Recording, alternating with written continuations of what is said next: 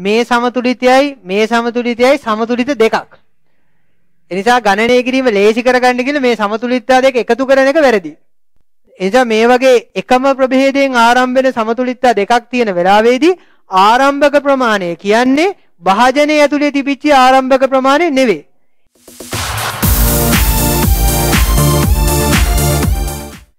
සංවෘත දෘಢ භාජනයක අන්තර්ගත ඒ වායුව පෙන්눔 කරන පහත සමතුලිතතා සලකන්න. පළවෙනි කොටස කියන්නේ කෙල්වින් T උෂ්ණත්වයකදී පහත ප්‍රතික්‍රියාවට ඒ භාජනය වේ.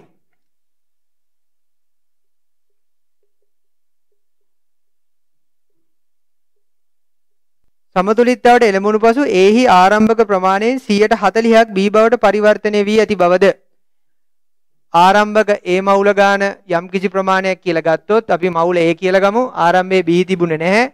විඝටනය ඒ වලින් 140ක් B බවට පත් වෙලා තියෙනවා.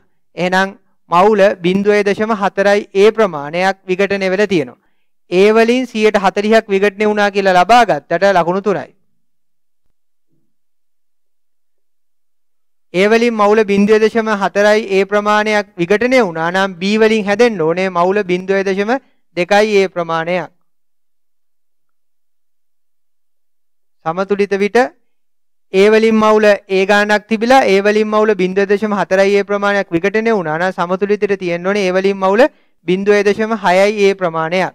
B ආරම්භයේ තිබුණේ නැහැ මවුල 0.2යි ඒ ප්‍රමාණයක් හැදුනා. එහෙනම් සමතුලිතට තියෙන්න ඕනේ මවුල 0.2යි ඒ ප්‍රමාණයක්. මේ විදිහට රයිස් ටේබල් එක ලිව්වට ලකුණු 3යි. පද්ධතිය මුළු පීඩනයේ දීලා තියෙනවා වර්ගමීටර නිව්ටන් 4 ගුණ කිරීම 10 පස්වෙනි බලය කියලා T උෂ්ණත්වයේදී මෙම සමතුලිතතාව සඳහා සමතුලිතතා නියතය Kp ගණනය කරන්න. Kp ගණනය කරන්න අපිට අවශ්‍ය වෙනවා ආංශික පීඩන. ආංශික පීඩනය ගණනය කරන්නේ මුළු පීඩනයේ දීලා තියෙන වෙලාවට මවුල භාගයෙන් ගුණ කිරීමෙන් මුළු පීඩනය. ආංශික පීඩන ගණනය කිරීම සඳහා අපිට අවශ්‍ය වෙනවා මවුල භාග. එනිසා ඊළඟට අපිට ගණනය කරන්න පුළුවන් A සහ B වල සමතුලිත මවුල භාග. A වල මවුල ගාන මවුල 0.6යි A බෙදීම මුළු මවුල ගාන මවුල 0.6යි එකතු කිරීම මවුල 0.2යි A මුළු මවුල ගාන මවුල 0.8යි A. මවුල මවුල සුළු වෙනවා A වලට සුළු වෙනවා 0.2ව 4යි 0.2ව 3යි. ඒ වල මවුල භාගයේ සමතුලිත විට 4ෙන් 3යි. ඒ යගේ ගණනය කරගත්තට ලකුණු 3යි. B වල මවුල භාගය ගණනය කරන්න ක්‍රම දෙකක් තියෙනවා. එක්කෝ B වල මවුල ගාන බෙදීම මුළු මවුල ගාන. එහෙම නැත්නම් මිශ්‍රණයේ තියෙන සංඝටක දෙකයි. එතකොට මේ සංඝටක දෙකේ මවුල භාග වල එකතුව එකට සමාන වෙන්න ඕනේ. A වල මවුල භාගය 4ෙන් 3 නම් B වල මවුල භාගය 4ෙන් එකක් වෙන්න ඕනේ. B වල මවුල භාගය 4ෙන් එකයි කියලා ගණනය කරගත්තාම ලකුණු 3යි. දැන් අපිට පුළුවන් A සහ B වායු මිශ්‍රණය පරිපූර්ණයි කියලා උපකල්පනය කරන්න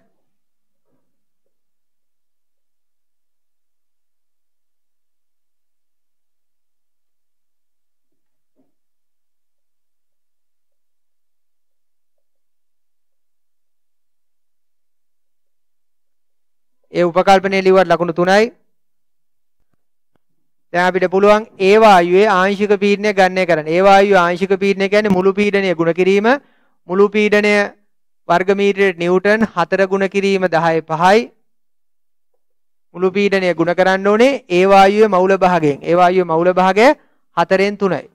4 ඒවා 1යි 4 ඒවා 1යි. ඒතර ඒ වායුවේ ආංශික පීඩනය වර්ග මීටරයට නිව්ටන් 3 ගුණ කිරීම 10 5 වෙනි බලය. එයාගේ ගණනය කරගත්තට ලකුණු 3යි.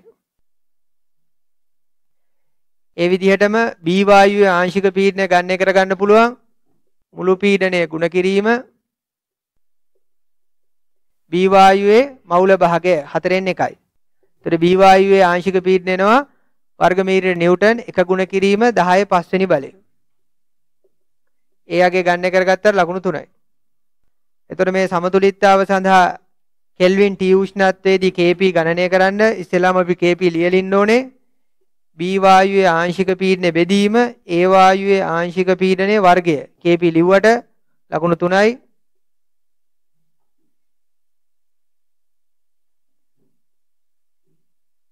B වායුවේ ආංශික පීඩනය වර්ග මීටර නිව්ටන් 1 ගුණ කිරීම 10 5 වෙනි බලයේ බෙදීම. ඒ වායුවේ පීඩනය වර්ගමීටරයට නිව්ටන් 3 ගුණ කිරීම 10 පස්වෙනි බලේ ආදේශ කරන්න ඕනේ වර්ග කරලා මේ විදිහට ඒකකත් එක්ක අගයන් ආදේශ කරලා ලකුණු 3යි වර්ගමීටර නිව්ටන් වර්ගමීටර නිව්ටන් එකක් සුළු වෙනවා. එතකොට ඉතිරි වෙන වර්ගමීටර නිව්ටන් එකක් හරේ. එතකොට ලවයට එනකොට නිව්ටනයට වර්ගමීටර් 10 පස්වෙනි බලයට 10 පස්වෙනි බලයක් සුළු වෙනවා. එතකොට හරේ ඉතුරු වෙනවා 10 පස්වෙනි බලයක්. ලවයට එනකොට 10 ඍණ පස්වෙනි බලය. තුනේ වර්ගයේ 9යි එක බෙදීම 9. එයාගේ ගන්න කරගත්තට ලකුණු 3යි. අවශ්‍ය නම් දශම වලට පරිවර්තනය කළ ලියන්න පුළුවන් 1.11 ගුණ කිරීම 10 ඍණ 6 වෙනි බලය. ඒකකය නිව්ටනයට වර්ග මීටර.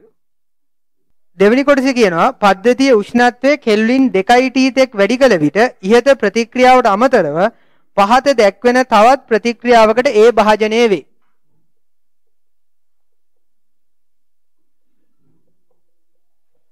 C සහ D සෑදෙන ප්‍රතික්‍රියාවකුත් සිදු වෙනවා.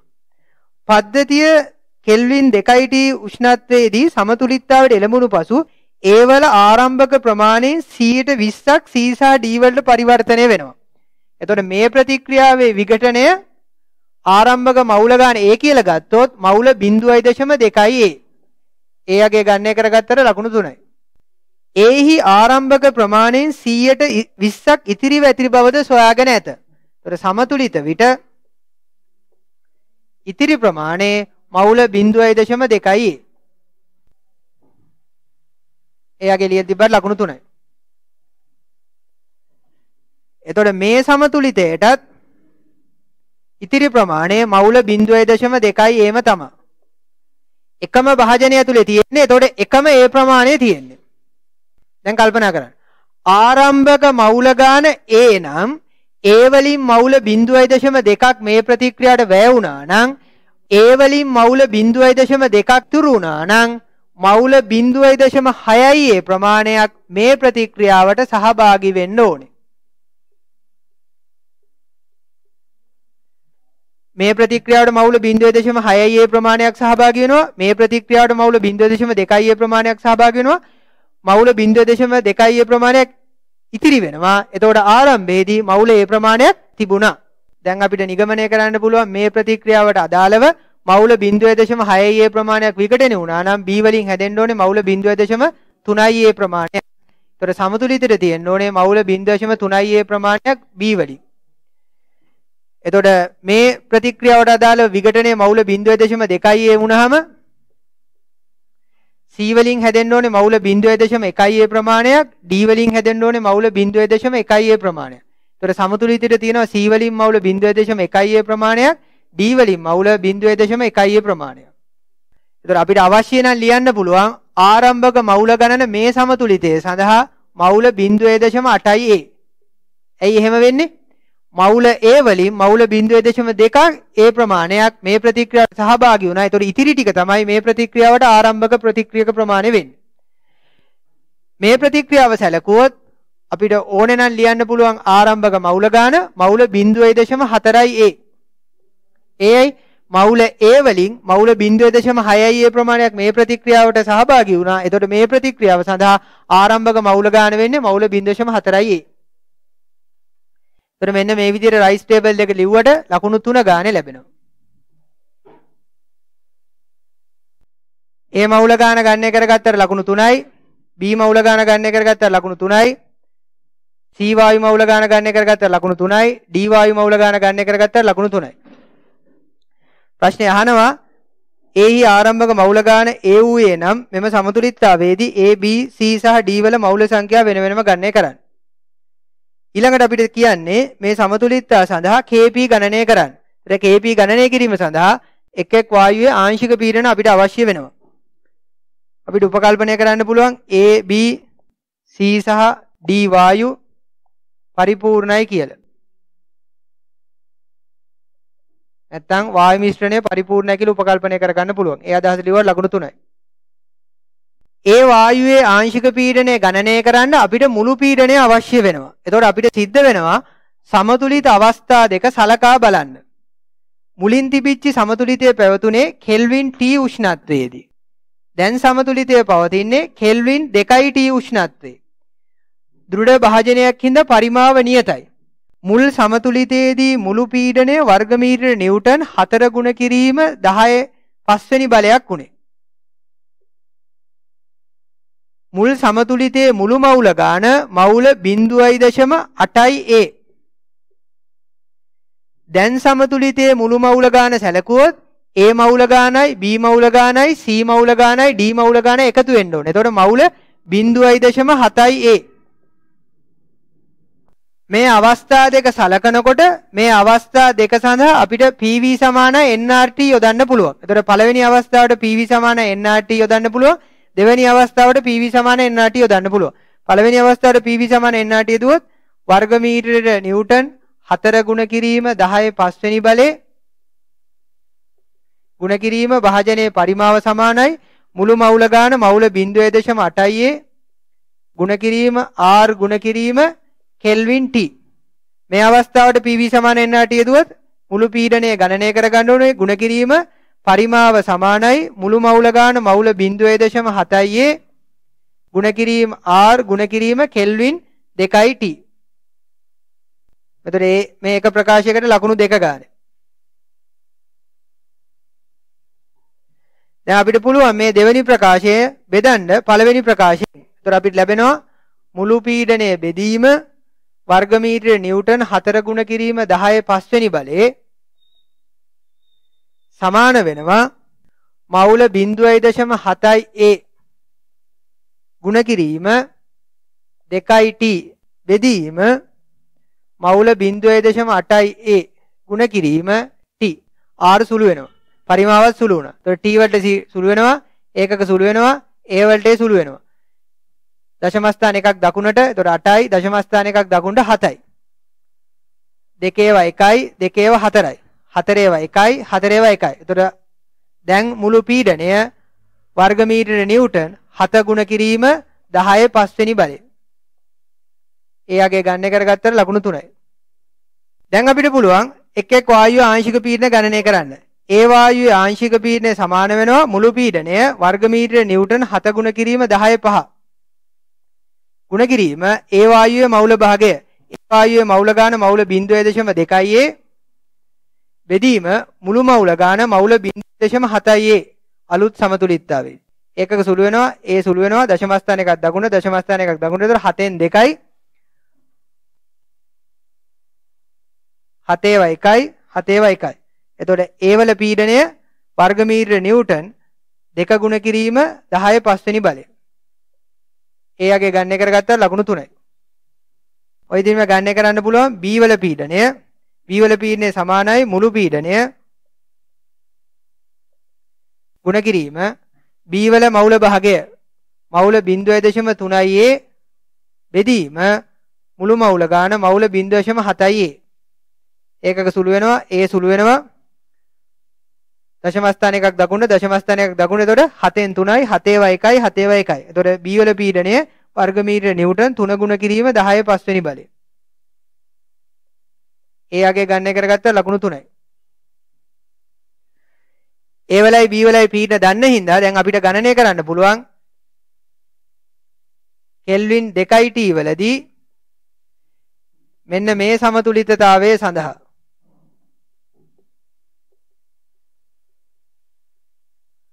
KP KP කලින් සමීකරණ ලියලා තියෙන හින්දා කෙලින්ම ආදේශ කරන්න පුළුවන්.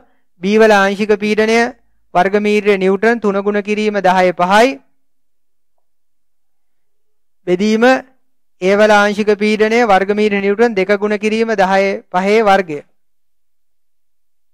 අගයන් ආදේශ කළාට ලකුණු 3යි වර්ගමීටර නිව්ටන් වල වර්ගයේ තියෙන හරේ ඒතර වර්ගමීටර නිව්ටන් වර්ගයෙන් වර්ගමීටර නිව්ටන් සුළු වුණාම වර්ගමීටර නිව්ටන් ඉතුරු වෙනවා හරේ ලවයට එනකොට නිව්ටනයට වර්ගමීටර 10 පස්වෙනි බලයේ වර්ගය 10 පස්වෙනි බලය. ඒතර 10 පස්වෙනි බලයක් සුළු වෙනවා. ඒතර හරේ තියෙන්නේ 10 පස්වෙනි බලය. ලවයට එනකොට 10 ඍණ පස්වෙනි බලය.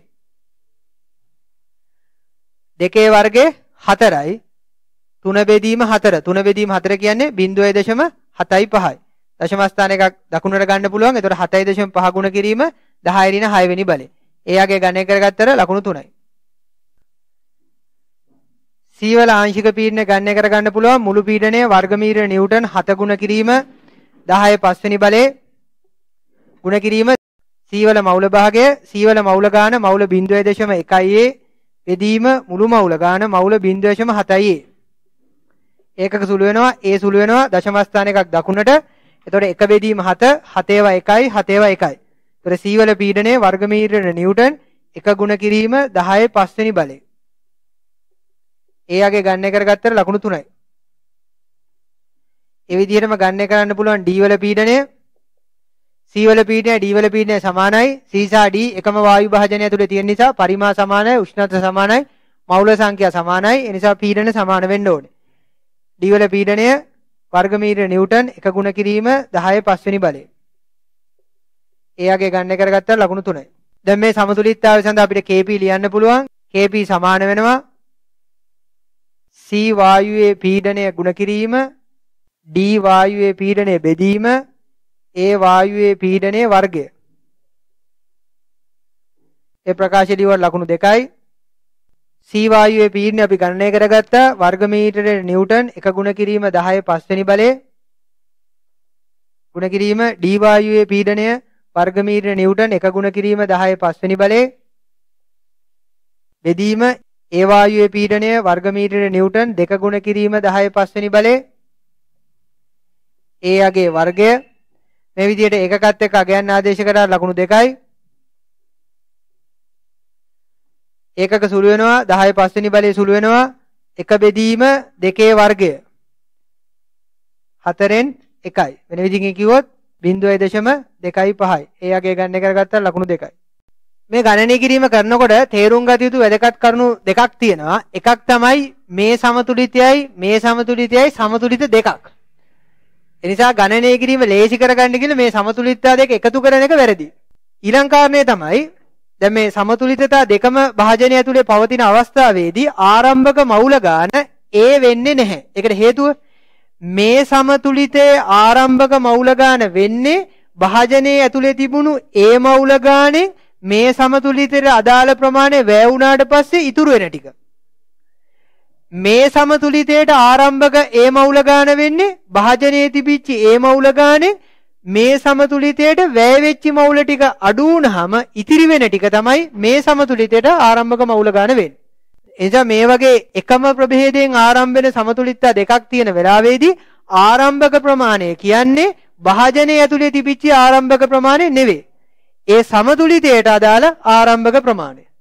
මේ ප්‍රශ්නේදී අහන්න තිබිච්ච ප්‍රශ්නයක් තමයි උෂ්ණත්වය වෙනස් වෙනකොට මේ සමතුලිතතාවයේ KP යගේ ගණනය කරලා තියෙන හින්දා මේ ප්‍රතික්‍රියාව තාපදායකද තාප අවශෝෂකද කියන එක නිගමනය කරන්න කියන එක. අපිට පැහැදිලිව පේනවා උෂ්ණත්වය වැඩි වෙන විට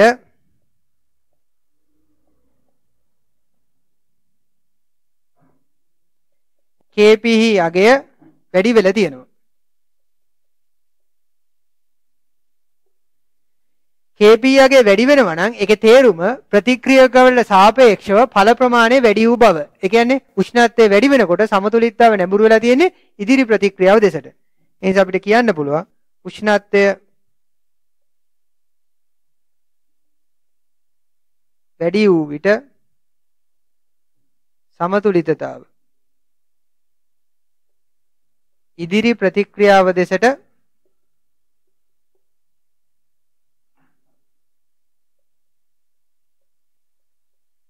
නැඹුරු වෙලා තියෙනවා. අපි දන්නවා උෂ්ණත්වය වැඩි කරපුවාම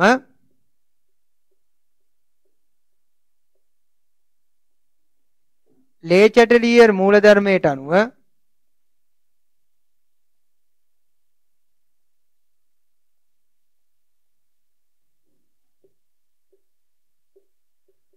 සමතුලිතතා උත්සාහ කරන්නේ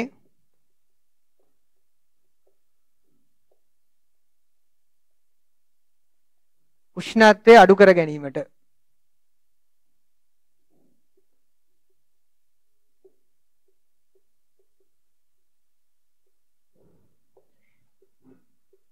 ඒ සඳහා සමතුලිතතාව තාප අවශෝෂක ප්‍රතික්‍රියාව දෙසට නැඹුරු වෙන්න ඕනේ. උෂ්ණත්වය අඩු කරගන්න සමතුලිතතාව නැඹුරු වෙන්න ඕනේ තාප අවශෝෂක ප්‍රතික්‍රියාව දෙසට.